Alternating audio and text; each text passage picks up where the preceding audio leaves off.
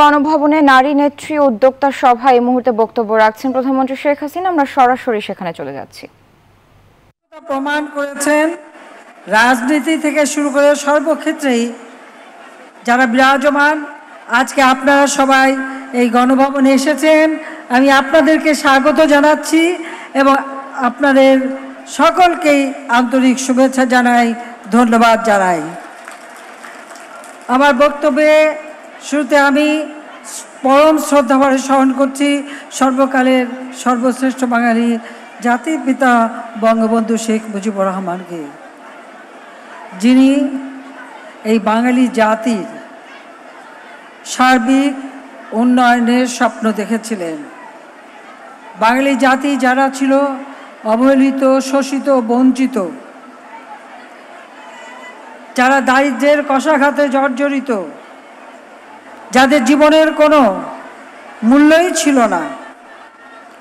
অন্ন, বস্ত্র, বাসস্থান চিকিৎসা, শিক্ষা সব কিছু থেকে যারা বঞ্চিত, এই বঞ্চনার হাত থেকে মুক্তি দেওয়ার জন্য, এদেশের মানুষকে একটা উন্নত জীবন দেওয়ার জন্য, জাতির পিতা বঙ্গবন্ধু শেখ মুজিব নিজের জীবনকে উৎসর্গ করেছিলেন। তে শোষিত, বঞ্চিত মানুষের কথা বলতে যে বারবার কারাবরণ করেছেন। বারবার মৃত্যুর মুখোমুখি হয়েছেন। কিন্তু তিনি এ বাংলাদেশের মানুষকে গভীরভাবে ভালোবেসেছিলেন এবং তারই নেতৃত্বে তিনি এই জাতিকে স্বাধীনতার চেতনায় উদ্বুদ্ধ করেছিলেন। তিনি আমাদের স্বাধীনতা দিয়ে গেছেন। তার ডাকে সাড়া দিয়ে অস্ত্র তুলে নিয়ে বা যার যা কিছু আছে, তাই নিয়ে এদেশের মানুষ মুক্তিযুদ্ধ করেছে, বিজয় এনে দিয়েছে। আর বিজয়ের পর তিনি একটা যুদ্ধ বিধ্বস্ত দেশ গড়ে তুলে আর্থসামাজিক উন্নয়নের পথে বাংলাদেশের যাত্রা শুরু করেন। আমি জাতির পিতা বঙ্গবন্ধু শেখ মুজিবের প্রতি শ্রদ্ধা জানাই। শ্রদ্ধা জানাই জাতীয় চার নেতার প্রতি। বঙ্গবন্ধুর নির্দেশে যুদ্ধ পরিচালনা করেছিলেন যারা। আমি শ্রদ্ধা জানাই আমার তিরিশ লক্ষ মা বোন, পাকিস্তানি হানাদার বাহিনী। এই বাংলাদেশের নিরস্ত্র বাঙালির উপর যখন সশস্ত্র আক্রমণ করে, গণহত্যা শুরু করে উনিশশো একাত্তর সালের পঁচিশে মার্চ, এরপরই জাতির পিতা স্বাধীনতা ঘোষণা দেন। কিন্তু তাদের অস্ত্র থেমে যায়নি। তারা শুধু দেশে গণহত্যাই চালায়নি। গ্রামের পর গ্রাম জ্বালিয়ে পুড়িয়ে ছাড়খাড় করেছে। একই সাথে আমাদের মা বোনদেরকে ধরে নিয়ে পাকিস্তানি হানাদার বাহিনীর ক্যাম্পে রেখে দিনের পর দিন অত্যাচার করেছে, পাশবিক অত্যাচার করেছে। সেই সকল নির্যাতিতা বোন, আমি তাদের প্রতি শ্রদ্ধা জানাই। বাংলাদেশের স্বাধীনতা সংগ্রামী এবং মুক্তিযুদ্ধে তিরিশ লক্ষ মানুষ জীবন দিয়েছে। আমি তাদেরকে আজকে স্মরণ করি আর আমি সশ্রদ্ধ সালাম জানাই আমাদের মুক্তিযোদ্ধাদের। পঁচাত্তর, পনেরোই আগস্ট। জাতির পিতাকে নির্মমভাবে হত্যা করে। একই সাথে হত্যা করেছিল আমার মাকে।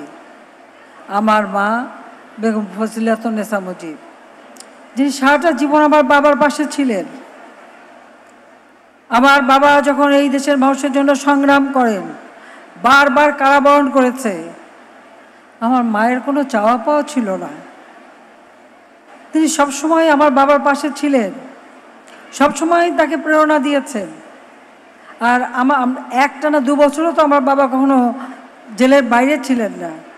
কিন্তু আমার মা একদিকে ঘর সামলিয়েছেন, আমার আব্বার বিরুদ্ধে যত মামলা মকদ্দমা, সেটা দেখেছেন।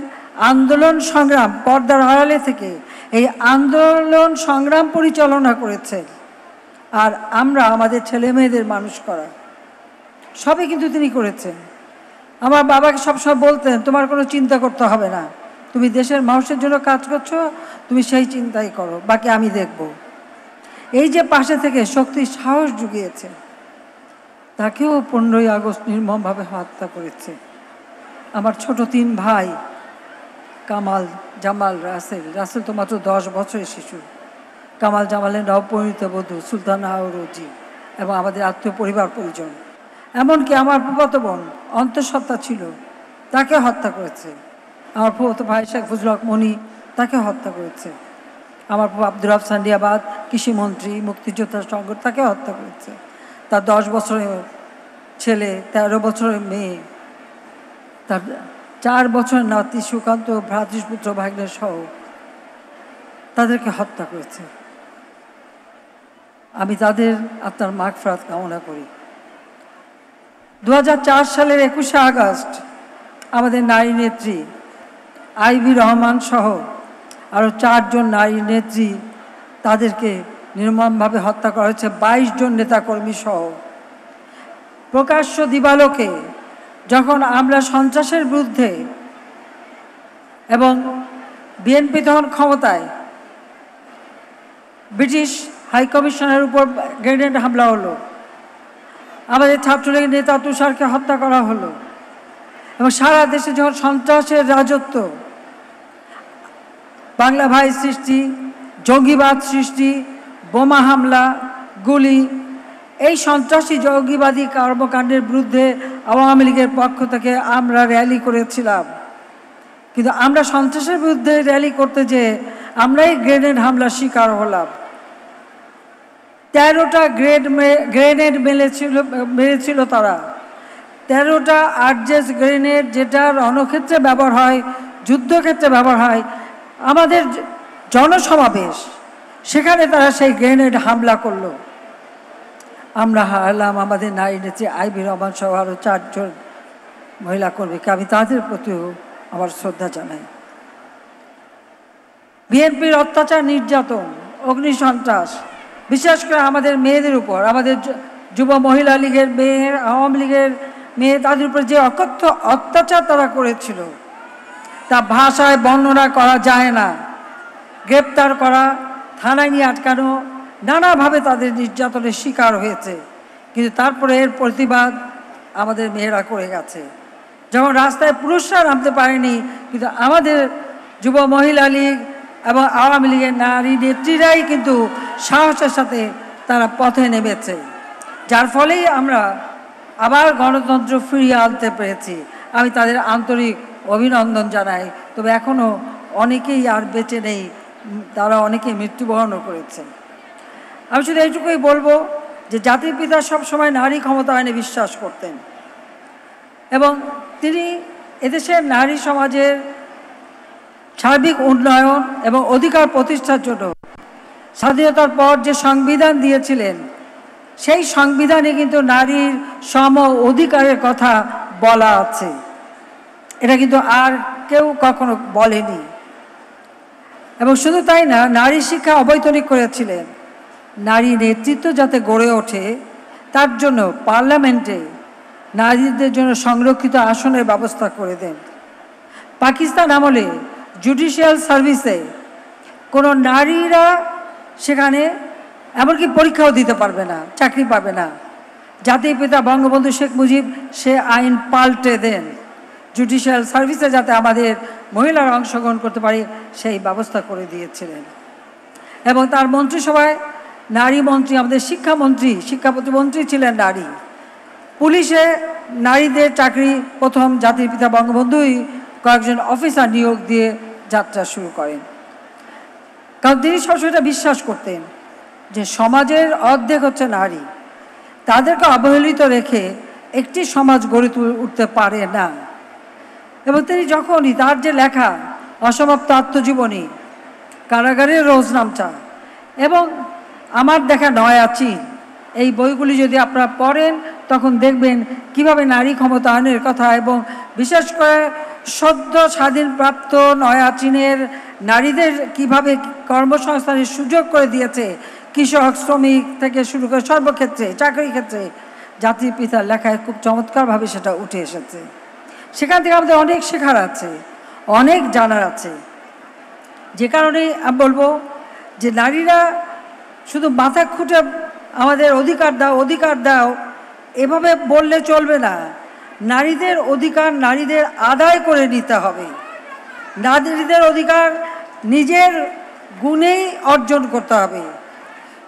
কবিগুরু রবীন্দ্রনাথ বলেছেন, নারীকে আপন ভাগ্য জয় করিবার কেন নাহি দেবে অধিকার? হে বিধাতা, এই আকুতি করলে হবে না। সেখানে আমাদের কবি নজরুল কবি নজরুল ইসলাম বলে গেছেন, বিশ্বে যা কিছু মহান সৃষ্টি চিরকল্যাণকর অর্ধেক তার আনিয়াছে নারী, অর্ধেক তার নর। তিনি শুধু এখানেই থামেননি, তিনি বলেছেন, কোনো কালে একা হয়নি কো জয়ী পুরুষের তরবারি শক্তি দিয়েছে, সাহস দিয়েছে, বিজয় লক্ষ্মী নারী। আমি যখন আমার মায়ের কথা চিন্তা করি, আমি কিন্তু এই কথাগুলিই চিন্তা করি।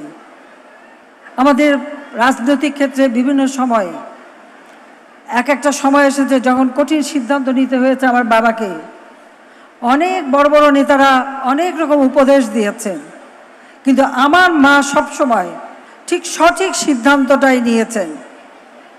তিনি নিজের কথা না, তিনি দেশের কথা ভেবেছেন, দেশের মানুষের কথা ভেবেছেন।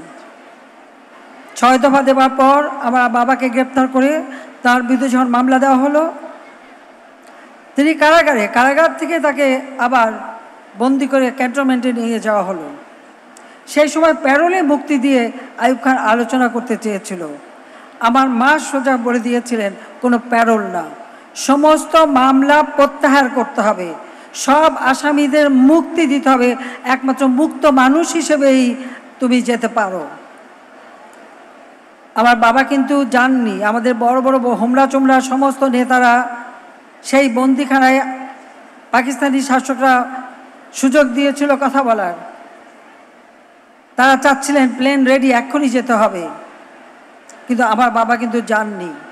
যার জন্য বাধ্য হয়েছিল আইব খান সেই আগরতলা ষড়যন্ত্র মামলা সে উনিশশো উনসত্তর সালের একুশে ফেব্রুয়ারি মামলা প্রত্যাহার করে, বাইশে ফেব্রুয়ারি সকলকে মুক্তি দেয় এবং মুক্তি মানুষ হিসেবেই তিনি বসেন। সাতই মার্চে সেই ঐতিহাসিক ভাষণ। যে ভাষণে তিনি বলেছিলেন, এবার এর সংগ্রাম আমাদের মুক্তির সংগ্রাম, এবার এর সংগ্রাম আমাদের স্বাধীনতার সংগ্রাম। যে ভাষণে তিনি বলেছিলেন যে বাঙালিদেরকে কেউ দাবায় রাখতে পারবে না, সেই ভাষণের আগেও অনেক অনেক পরামর্শ, অনেক কথা, অনেক পয়েন্ট লিখে দিয়েছিল। কিন্তু আমার মা একটা কথাই বলেছিলেন যে, সারাটা জীবন তুমি সংগ্রাম করেছ দেশের মানুষের জন্য। তুমি জানো কি বলতে হবে। কারও কথা শোনার দরকার নেই। তোমার মনে যা আছে তুমি তাই বলবে। আজকে সেই সাতই মার্চের ভাষণ আজ আন্তর্জাতিক স্বীকৃতি পেয়েছে। কাজে একজন নারী পাশে থাকলে একজন পুরুষের বিজয় যে কত ত্বরান্বিত হতে পারে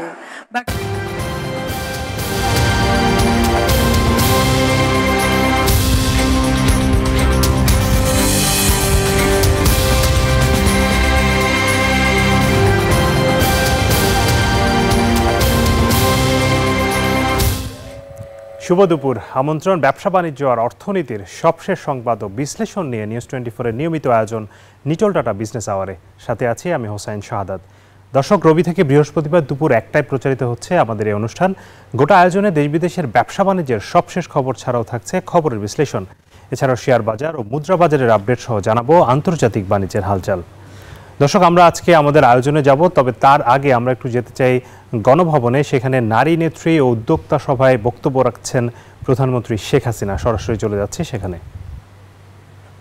আমার মা নিজে দাঁড়িয়ে থেকে সেই গণ বিয়ে যাকে বলে গণ বিয়ে দিয়েছিলেন।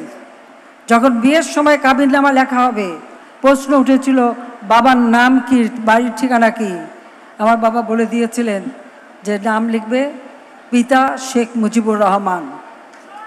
বত্রিশ নাম্বারের ওই ধানমন্ডি বাড়ি, যেটা আমরা বঙ্গবন্ধু মেমোরিয়াল ট্রাস্টের জাদুঘর করেছি, ওই বাড়ির ঠিকানা বলেছেন, এইটাই তাদের ঠিকানা। আর যে সমস্ত শিশু জন্ম নিয়েছিল, অনেকে শিশুদের গ্রহণ করেছিল, অনেকে করেনি। বিদেশে এই সমস্ত শিশু যাতে দত্তক পায়, যারা নিতে চেয়েছিল, সেই সুযোগটাও জাতির পিতা করে দিয়েছিলেন, যাতে মেয়েদের কোনো অসুবিধায় পড়তে না হয়। আর সেই সময় এই ধরনের নির্যাতিত মেয়েদের কথা শুনলে অনেকেই সমাজে আশ্রয় দিত না, ঠাঁই দিত না।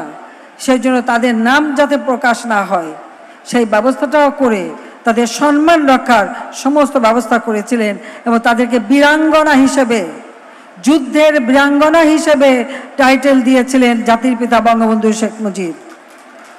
আমরা সরকারে আসার পরে তাদের মুক্তিযোদ্ধা হিসেবেই তাদেরকে আমরা স্বীকৃতি দিয়েছি। আজকে আমি একটু বলব যে আমরা নারীরা কেন পিছিয়ে থাকবে? বেগম রোকেয়াই তো প্রথম আমাদের শিক্ষা দিয়ে গেছেন। নারী শিক্ষার জন্য বেগম রোকেয়ার যে অবদান, এবং তিনি তো স্বপ্ন দেখতেন, নারীরা একদিন জজ ব্যারিস্টার হবে। আজকে আমার মনে হয় আমি ডেকে বলি, যে আসুন, দেখুন, এখন আমাদের দেশে কিন্তু নারীরা জজ ব্যারিস্টার থেকে শুরু করে সব জায়গায় তাদের আপন স্থান করে নিয়েছে এবং নিতে পেরেছে। আজকে রাষ্ট্র পরিচালনার ক্ষেত্রে আমাদের সেনাবাহিনী, নৌবাহিনী, বিমান বাহিনী বিজিবি বর্ডার গার্ড প্রতিটি জায়গায় যাতে আমাদের নারীরা সম সুযোগ পায়, সেই ব্যবস্থা আমি ছিয়ানব্বই সালে সরকারে এসে সেই ব্যবস্থা করে দিয়েছি। আমাদের উচ্চ আদালতে কোনো মহিলা জজ ছিল না। একরকম জোর করেই আমি রাষ্ট্রপতিকে বলেছিলাম যে ফাইল পাঠাবেন তালিকায় যদি কোনো নারী জজের নাম না থাকে উচ্চ আদালতে, আমি কিন্তু এই ফাইল কার্যকর করব না। কারণ রাষ্ট্রপতির ফাইল তো প্রধানমন্ত্রীর মাধ্যমেই যায়। আজকে আমাদের উচ্চ আদালতেও আমাদের নারীরা স্থান পেয়েছে। কোনো সচিব ছিল না। কোনো জেলায় কখনো ডিসি করা হতো না। ইউনিয়ন কোনো জায়গায় না।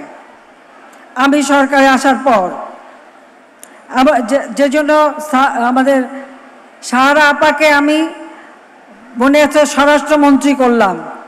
যেন আমাদের মেয়েরা শুধু পুলিশেই না ওসি হবে, এসপি হবে, বিভিন্ন পদে তারা পাবে।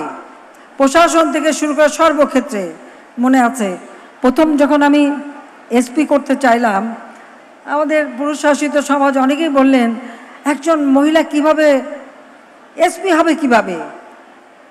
আমি ধন্যবাদ জানাই সে রওশন আরা তাকে আমি প্রথম মুন্সীগঞ্জে এসপি করলাম। মুন্সীগঞ্জে যেই প্রথম সে ডাকাত ধরলো। এবং ডাকাতও ধরছে খুব ইয়েভাবে ডাকাতে থাবা, এক হাতে রিভলভার আর এক হাতে ডাকাত ধরে নিয়ে আসলো। আমি বললাম, এখন কেমন হলো? জাতিপিতা তো বলেছেন, আল্লাহ তালা মানুষকে সমান শক্তি দিয়েই পাঠিয়েছে। শক্তিটা কাজে লাগাবার সুযোগটা তো দিতে হবে। সেই সুযোগটা আমরা দিয়েছি। আজকে ইসলাম ধর্ম, আমি দেখি অনেক দেশে নারীদের পড়তে দেয় না। লেখাপড়া শেখায় বাধা দেয়, নানা রকম নির্যাতন হয়। আমার প্রশ্ন হচ্ছে প্রথম ইসলাম ধর্মকে গ্রহণ করেছে।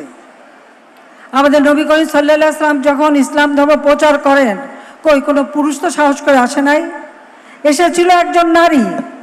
প্রথম বিবি খাদেজা ইসলাম ধর্ম গ্রহণ করেন এবং তিনি কে ছিলেন? তিনি তো ইসলাম ধর্ম গ্রহণ করেছেন শুধু তা না, তিনি এক বাণিজ্য করতেন, ব্যবসা করতেন, তিনি বিভিন্ন দেশে দেশে ঘুরতেন এবং তিনি নবী কবি সাল্লাহ আসলামকে তার ব্যবসায় চাকরি দিয়েছিলেন।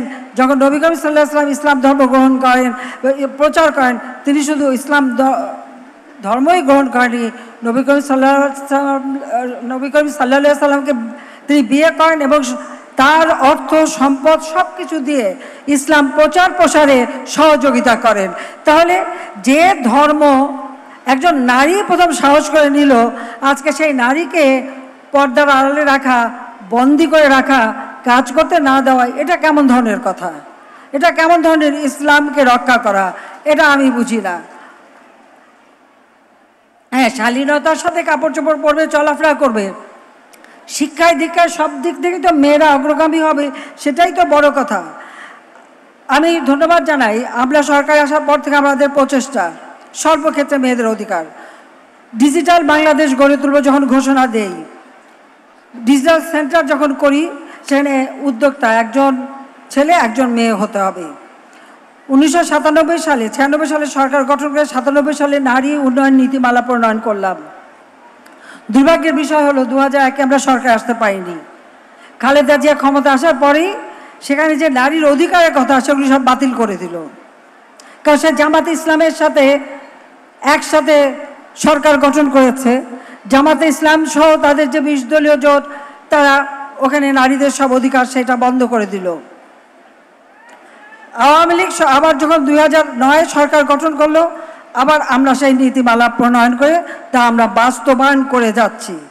ইতিমধ্যেই এসএমই ফাউন্ডেশন করেছে। এসএমই ফাউন্ডেশনে কিন্তু আমাদের মেয়ে উদ্যোক্তারা যারা হবেন মাত্র পাঁচ পার্সেন্ট সুদেও কিন্তু আপনারা টাকা নিতে পারবেন, ব্যবসা করতে পারবেন, সেই সুযোগ এবং ট্রেনিংয়ের ব্যবস্থাও করা আছে তাদের জন্য।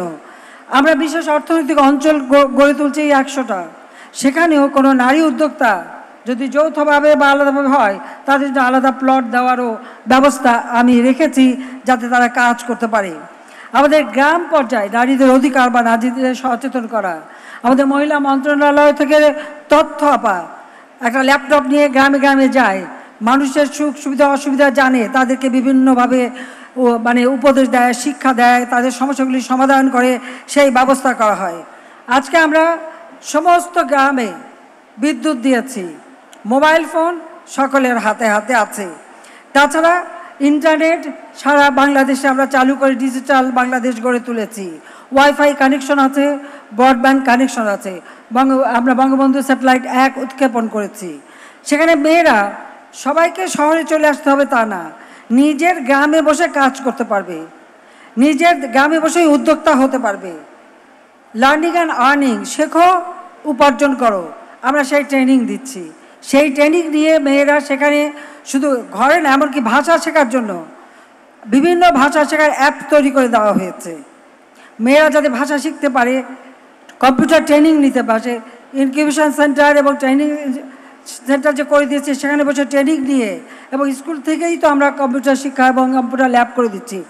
ঘরে বসে দেশে, বিদেশে অর্থ উপার্জনের সুযোগ সৃষ্টি হয়েছে, অনেকেই সেটা করছে, সেভাবে করতে পারি।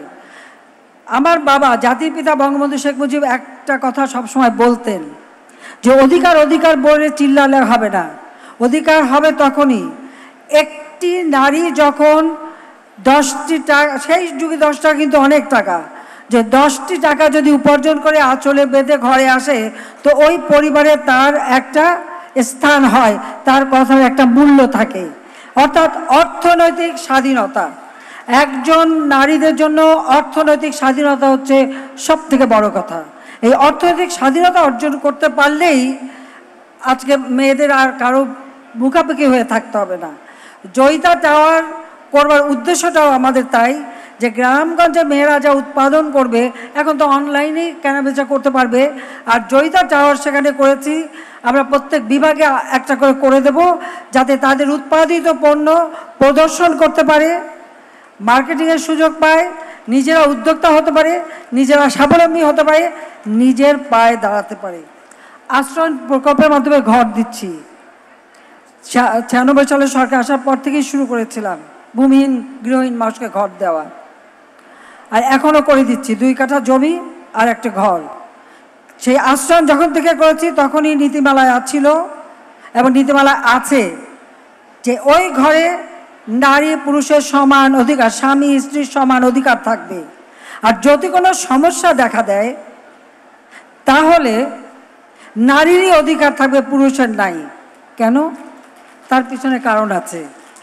নতুন ঘর পেয়ে আবার নতুন বউ এনে না তোলে, সেই জন্য আমি এই ব্যবস্থাটা করে দিয়েছি। যে নতুন বউ আনলে বেরোয় চলে যাও, তাহলে মেয়েই থাকবে, আর কেউ থাকতে পারবে না। তো যাও, আমি পুরুষদের বিরুদ্ধে কিছু বলছি না, কিন্তু ঘটনা তো ঘটতে পারে এরকম।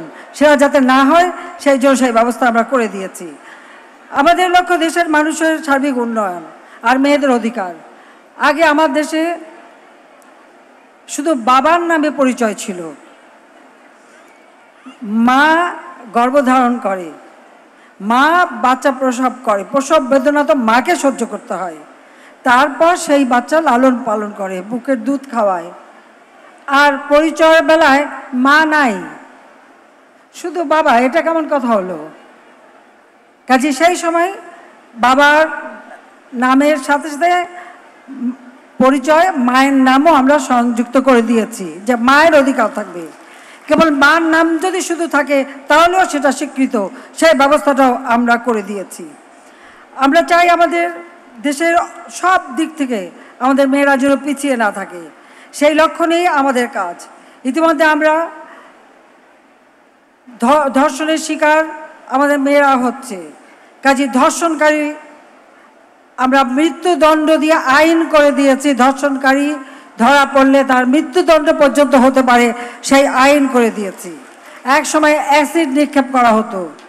সেই সময় আমরা আইন করেছিলাম, অ্যাসিড নিক্ষেপ করলে যে অ্যাসিড নিক্ষেপকারী, তাকে তার একেবারে মৃত্যুদণ্ড হতে পারে, সেইভাবে আমরা আইন করে দিয়ে নারী সুরক্ষা- সুরক্ষার ব্যবস্থা করে দিয়েছি। আমরা নারী ও শিশুর উপর যাতে কোনো রকম সহিংসতা না হয়। সেটা রোধ করার জন্য আমরা নারী ও শিশু সুরক্ষা আইন তৈরি করে দিই। সেই সাথে সাথে নারী ও শিশুর উপর সব ধরনের অন্যায় অবিচার প্রতিরোধ করবার জন্য আমরা ন্যাশনাল অ্যাকশন প্ল্যান দু হাজার তেরো থেকে পঁচিশ সেটা প্রণয়ন করে সেটা আমরা বাস্তবায়ন করে, করা শুরু করেছি। মাতৃত্বকালীন সময়ে আগে মাত্র তিন মাসের ছুটি দেওয়া হতো।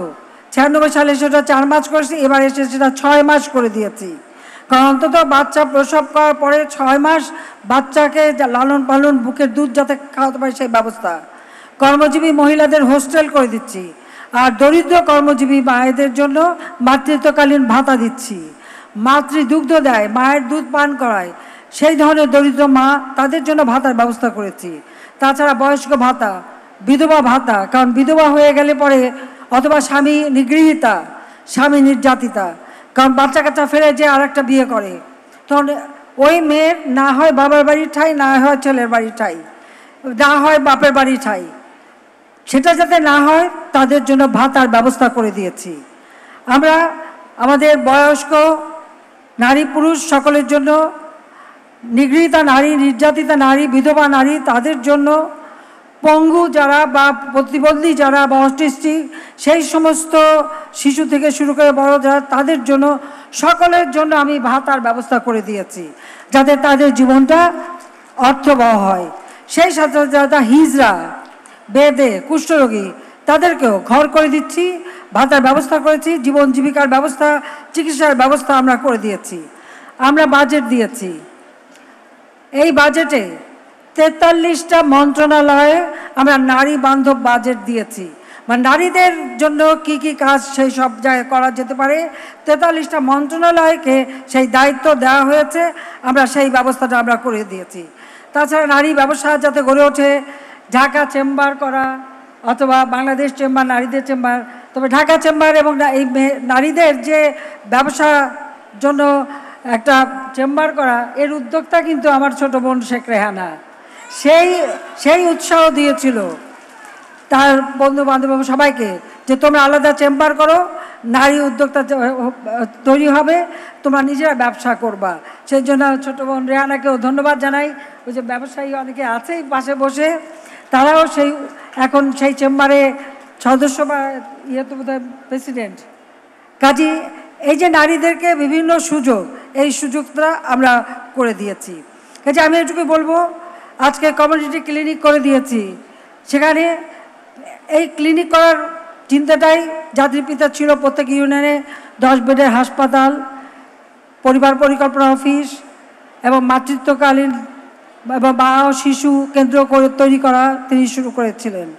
আমি সরকার এসে কমিটি ক্লিনিক করে দিয়েছি। তিরিশ প্রকার ঔষধ হয়। এখন আমাদের মেয়েরা হেঁটে যে চিকিৎসা পেতে পারে। শুধু তাই না ডিজিটাল সেন্টার কমিউনিটি ক্লিনিক, আমার বাড়ি, আমার খামার, এই বিভিন্ন প্রকল্প, এখানে কিন্তু মেয়েদেরই সুযোগ বেশি। তাদের কর্মসংস্থানের সুযোগ হচ্ছে। তারা বসে থাকে না। আমার আমার খুব খুশি লাগে যে আজকে আমাদের দেশে আমরা যদি স্কুলে দেখি, আপনারা জানেন আগে একটু বড় হয়ে গেলে মেয়েরা স্কুলে যেতে পারতো না। কারণ মেয়েদের জন্য আলাদা কোনো ওয়াশরুমের ব্যবস্থা ছিল না। এখন আমরা সব স্কুলে মেয়েদের আলাদা ব্যবস্থা করে দিয়েছি। এবং মেয়েরা যাতে স্কুলে যেতে পারে সেই ব্যবস্থা। এখন আমরা আনন্দিত যে আমাদের মেয়ে মেয়েদের সংখ্যা কিন্তু এখন বেশি, ছাত্রের সংখ্যা বেশি, ছাত্রের সংখ্যা কম। এখন মানে অনেক দেশ বলে যে জেন্ডার ইকুয়ালিটি তা আমার তো উল্টা হয়ে গেছে। আমরা ছেলেরা কেন স্কুলে যায় না, সেটা খুঁজে বের করতে হবে। এবং তারা যদি স্কুলে পড়াশোনা করে সেই ব্যবস্থাটা নিতে হবে। পরীক্ষায় পাশের হারেও দেখি মেয়েরাই এখন ভালো করে। এটা আমাদের জন্য আনন্দের ব্যাপার। যাক, আমি অনেক সময় নিলাম। আপনারা খুব কষ্ট করে সেই সকালে এসেছেন, আপনারা কাজ করছেন। আমি সেই জন্য অত্যন্ত আনন্দিত। আজকে খেলাধুলা, সংস্কৃতি চর্চা, সব দিকেই আমাদের মেয়েরা কিন্তু এগিয়ে আছে। আমরা প্রথমবার সরকার এসে যখন আমরা প্রমিলা ফুটবল টুর্নামেন্ট করেছিলাম, বাংলাদেশের কয়েকটা এলাকা আছে। সেখানে মেয়েদের ফুটবল খেলতে দেবে না। সেই জন্য প- পরের বার যখন সরকারে আসলাম, প্রাইমারি থেকে ছেলেদের জন্য বঙ্গবন্ধু জাতির পিতা বঙ্গবন্ধু শেখ মুজিবুর রহমান ফুটবল টুর্নামেন্ট আর প্রাইমারি স্কুল থেকে বেগম ফজিলতান্নেসা মুজিব ফুটবল টুর্নামেন্ট আমরা এই খেলাধুলা শুরু করে দিলাম। এখন আমার ক্রিকেট, ফুটবল ভারোত্তোলন থেকে শুরু করে আর্চারি সব ক্ষেত্রে কিন্তু মেয়েরা এগিয়ে আছে। স্পোর্টসে মেয়েরা যেন আরও সম্পৃক্ত হয়, সেই ব্যবস্থাটা করে করেছে সংস্কৃতি চর্চায় মেয়েরা যেন আরও সুবিধা পায়, সেই ব্যবস্থা করে দিয়েছি। আমাদের বিভিন্ন একাডেমিতে বিভিন্ন ট্রেনিংয়ের ব্যবস্থাও আমরা রেখেছি। কাজে নারী ক্ষমতা এবং নারীর উন্নয়ন, এই ক্ষেত্রে আমরা সব ধরনের যে সুযোগ, সেটা আমরা সৃষ্টি করে দিয়েছি। কিন্তু আমি চাই যে আজকে একটা মহৎ কাজ করলাম। সেটা হলো এই জয়িতা টাওয়ার করে দেওয়া।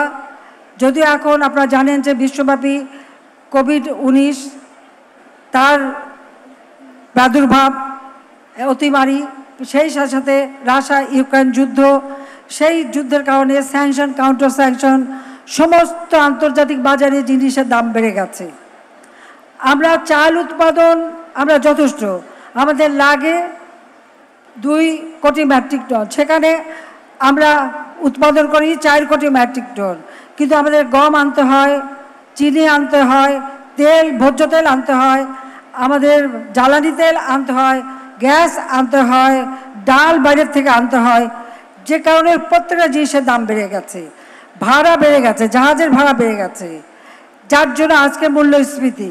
আমি আহ্বান করব আমার বোনদেরকে যার যেখানে যতটুকু জায়গা আছে, নিজেরা গাছ লাগান। তরি, তরকারি, ফল, মূল, যে যা পারেন কোনো অনাবাদী জমি যেন না থাকে। বিশ্বব্যাপী যে খা, মূল্য, স্ফীতি এবং খাদ্যমন্দা বাংলাদেশে যেন সেটা না আসতে পারে সেই জন্যই আমার আহ্বান থাকবে সকলের যে আমরা নিজেরা যদি করি, আজকে আমার এই গণভবন কিন্তু খামার বাড়ি যাওয়ার সময় দেখবেন গাছপালা, মাছ, মুরগি সবই আছে এখানে, ছাগল আছে, গরু আছে, সব আছে। কাজে সেইভাবে প্রত্যেকে কাজের সাথে সাথে এটাও একটা কাজ, এটাও একটা কাজ। আমাদের গ্রামের মেয়েরা সবাই করে। কাজে আমাদের করতে হবে। আমরা নিজেদের উপার্জন নিজেরা করব। নিজের পায়ে দাঁড়াবো, কারও কাছে হাত পেতে চলবো না, মাথা উঁচু করে চলবো।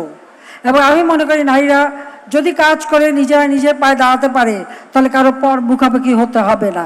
কেউ আর দূর দূর ছাই ছাই করতে হবে না, আর ওই আন্দোলন করে অধিকার আদায় করতে হবে না।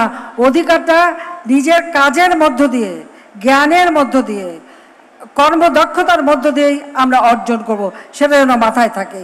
বাংলাদেশে আজকে আমাদের পার্লামেন্টে যেখানে জাতিপিতা আমাদের জন্য সংরক্ষিত আসন রেখেছেন, আমরা সেখানে সংরক্ষিত আসন বৃদ্ধি করেছি, আবার সরাসরি প্রায় তেইশ জনের মতো সরাসরি নির্বাচিত, এখন পঁচিশ জন হয়ে গেছে সরাসরি নির্বাচিত প্রতিনিধি আছে।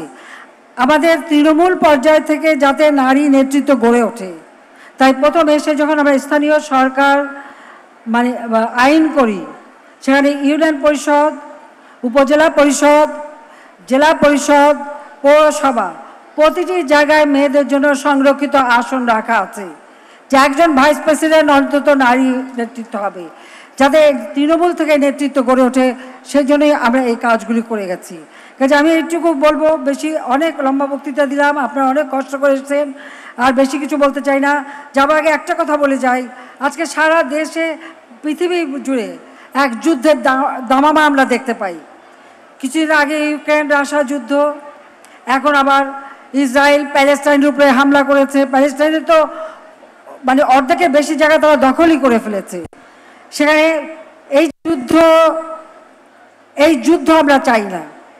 আমি একজন শুধু নারী রাজনৈতিক নেতা হিসেবে না বা প্রধানমন্ত্রী হিসেবে না, একজন মা হিসেবে, একজন মা হিসেবে, রাজনীতিবিদ হিসেবে আমি বিশ্ব নেতাদের কাছে অনুরোধ করব, আপনারা বন্ধ করেন এই যুদ্ধ, বন্ধ করেন এই অস্ত্রের খেলা, এই অস্ত্র প্রতিযোগিতা যাদের এই অস্ত্র প্রতিযোগিতা হলে, যুদ্ধ হলে সবচেয়ে কষ্ট পায় আমাদের মেয়েরা এবং শিশুরা, নারীরা এবং শিশুরাই সব থেকে কষ্ট পায়, আমাদের তো সব অভিজ্ঞতা আছে।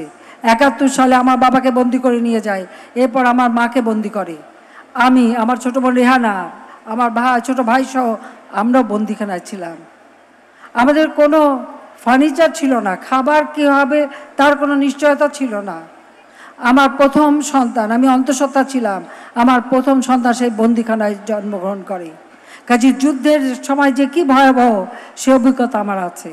আবার পঁচাত্তরে বাবা, মা, ভাই সব যখন হারালাম বিদেশের মাটিতে আমরা দুই বোন। আমাদের তো কিছুই নেই কপরদক শূন্য বলতে গেলে। থাকার জায়গা নেই, জানি না কোথায় যাব। তারপরেও ভারতে ইন্দিরা গান্ধী আমাদের আশ্রয় দিয়েছিলেন।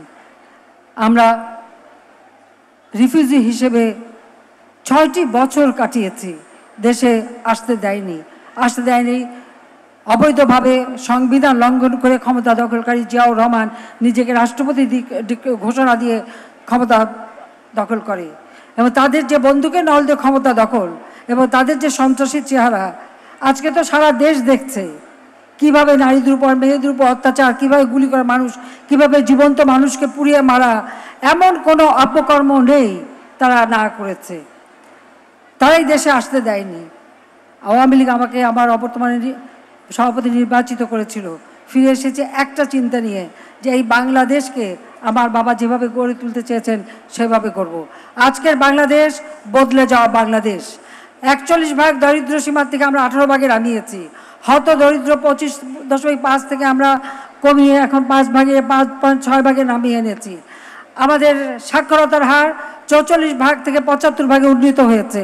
আমাদের আয়ুষ্কাল উনষাট থেকে তেহাত্তর বছরে উন্নীত হয়েছে। মেয়েদের আবার একটু বেশি। ছেলেদের থেকে। এটাও ঠিক, আয়ুষ্কালটা মেয়েদের একটু বেশি। যাই আমার কথা হচ্ছে এভাবে বাংলাদেশ আজকে বিশ্ব উন্নয়নের মূল রোল মডেল আমরা উন্নয়নশীল দেশের মর্যাদা পেয়েছি। এই মর্যাদা নিয়েই আমরা এগিয়ে যেতে চাই। ওই লুটেরা, সন্ত্রাসী অগ্নি সন্ত্রাসকারী দুর্নীতিবাজ, এতিমের অর্থ আত্মসাৎকারী অস্ত্র চোরা কারবারি, এরা এই দেশকে ধ্বংসের দিকে নিয়ে গিয়েছিল। ওই বিএনপি, জামাত, জোট সহ তারা। আজকে আওয়ামী লীগ সরকারে আছে বলে দেশে গণতন্ত্র আছে, মানুষের অধিকার নিশ্চিত আছে, অর্থনৈতিকভাবে অগ্রগতি হচ্ছে, দেশ এগিয়ে যাচ্ছে, নারীর ক্ষমতায়ন নিশ্চিত করে প্রতিটি জায়গায় আমরা মেয়েদের অধিকার সুনিশ্চিত করতে পেরেছি। নৌকা মার্কায় ভোট দিয়ে দেশের মানুষ স্বাধীনতা পেয়েছে। আর নৌকা মার্কায় ভোট দিয়েছে বলেই আজকে বাংলাদেশ উন্নয়নশীল দেশের মর্যাদা পেয়েছে, নারীর ক্ষমতা নিশ্চিত হয়েছে, কর্মসংস্থানের সুযোগ হয়েছে। কাজে আমাদের এই অগ্রযাত্রা যেন অব্যাহত থাকে। আমাদের বন্ধের কাছে সেটাই আমার আহ্বান। আপনারা ধৈর্য ধরে আমার বক্তব্য শুনেছেন, আপনাদের প্রতি কৃতজ্ঞতা জানাই। আপনারা গণভবনে এসেছেন, অনেক দিন থেকে অনেকেই বলছিলেন, তো ভাবলাম একবার আমরা দাওয়াত কারণ সময় খুব কম, প্রতিদিন খাটতে হয়। তবু আপনারা কষ্ট করে এসেছেন আমি মনে করি ধন্য গণভবনের মাটি আমার বোনদের পদার্পণে। সবাইকে ধন্যবাদ। জয় বাংলা, জয় বঙ্গবন্ধু। বাংলাদেশ চিরজীবী হোক।